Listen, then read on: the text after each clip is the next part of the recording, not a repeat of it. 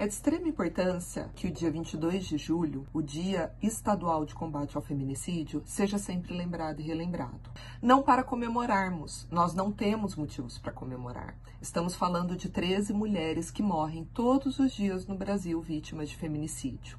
A importância se dá pela necessidade de alertarmos para os sinais da violência de gênero cotidiana, geralmente vivida por meio de relacionamentos abusivos que podem culminar tragicamente no feminicídio, e principalmente para conscientizarmos toda a sociedade homens e mulheres, da importância de discutirmos educação de gênero, principalmente com nossas crianças e adolescentes. Esse é um dos possíveis caminhos para a prevenção, o combate da violência contra a mulher. E também é importante falarmos sempre da importância de se denunciar casos de violência de gênero contra mulheres. Essa denúncia, ela deve ser feita por toda a sociedade que presencia casos de violência. Vizinhos, amigos, familiares, colegas de trabalho denunciem. É só assim que o Estado vai ter condições e instrumentos capazes de proteger aquela mulher para que ela não vire